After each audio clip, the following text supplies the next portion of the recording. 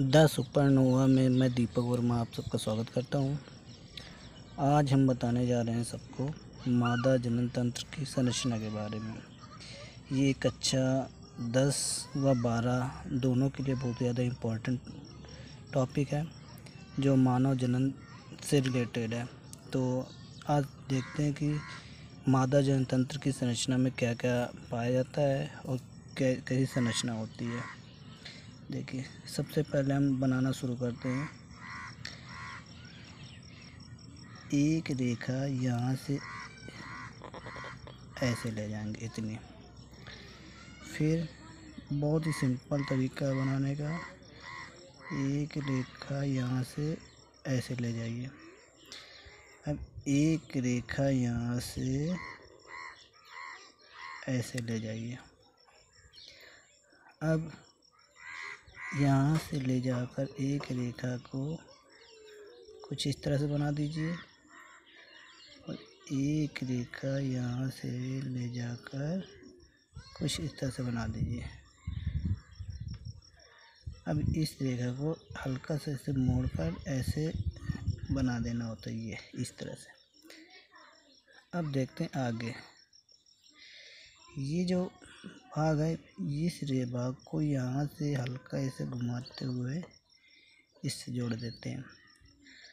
अब यहाँ से एक रेखा ले जाकर इस तरह से यहाँ से ऐसे ले जाते हैं, ऐसे इस तरह से।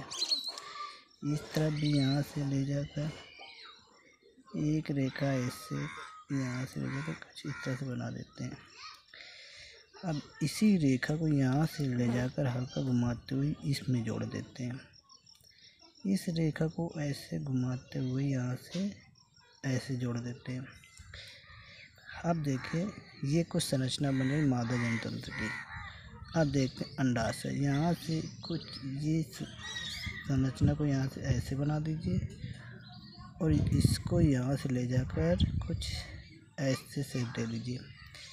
इसमें भी ऐसे बना देते हैं। इस तरह से ऐसे उंगली नुमा संरचना होती है। यहाँ से इसको ऐसे जोड़ दीजिए। अब देखिए कुछ संरचना अब यहाँ से ऐसे जोड़ देते हैं यहाँ इसको और यहाँ से ऐसे। ये मादा जनतंत्र की संरचना बन गई। अब देखते हैं इसमें क्या क्या होता है।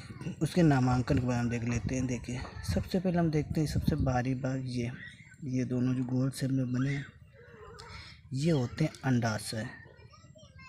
इनको बोला जाता है अंडाशय। अंडाशय बोला जाता है।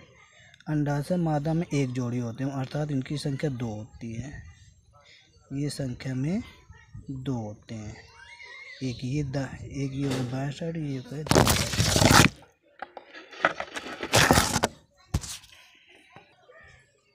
इन्हीं अंडाशयों में जो होता है, मादा युग्मक का निर्माण होता है। इन्हीं अंडाशयों में मादा युग्मक का निर्माण होता है।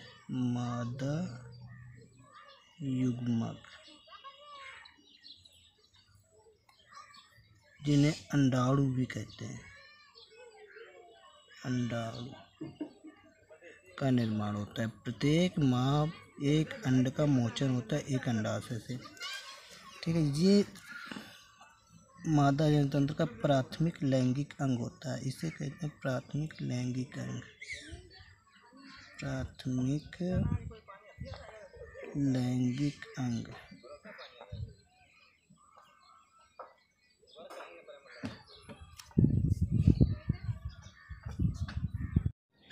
अब आगे देखते हैं। ये देखो, ये जो एक उंगली नुमा संरचना होती है दोनों अंडाशयों की, इन्हें बोलते हैं फिम्बरी। फिम्बरी। या इन्हें झालर भी बोल सकते हैं। झालर। आगे देखते हैं। देखिए एक ये नलिका रूपी संरचना, ये गई दोनों में। इस नलिका रूपी संरचना को कहते हैं अंडवाहिनी। अंडवाहिनी। अब आगे देखते हैं। इतना पार्ट हो गया, अब इसके अंदर देखते हैं ये।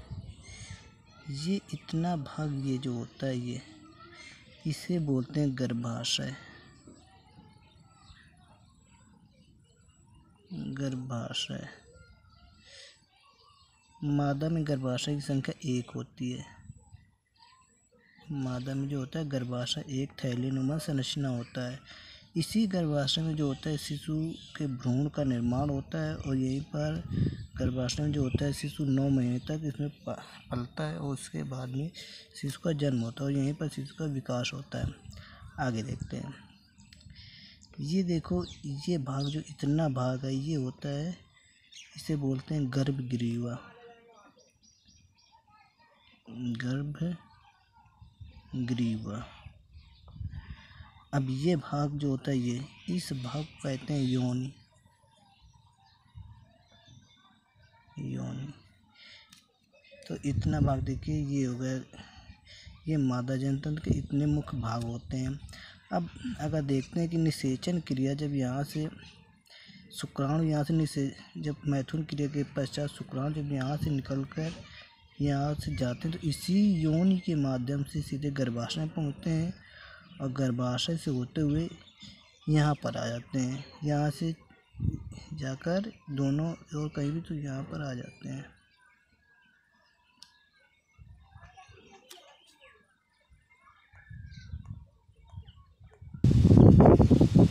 और यहाँ से निर्मित अंडा यहाँ से निर्मित अंडा इस पिंपली के माध्यम से पकड़ा जाता है। इस पिंपली का काम होता है अंडाणुओं को पकड़ कर ले जाना और यहाँ पर अंडाणु आ जाता है। और यहीं पर निषेचन क्रिया होती है निषेचित होकर यहाँ से युग्मनज का निर्माण हो जाता है युग्मनज यही युग्मनज आगे चल के यहाँ से भुगते हुए यहाँ पर गर्भाशय के अंदर आ जाता है और यहीं पर नौ महीने बनाया तो नौ महीने बाद शिशु का निर्माण हो जाता है तो ये पूरी प्रक्रिया हो गई है जन्म माता जनतंत्र की चल प्रक्रिया तैसे होती है तो उम्मीद करते हैं आप सबको गया धन्यवाद।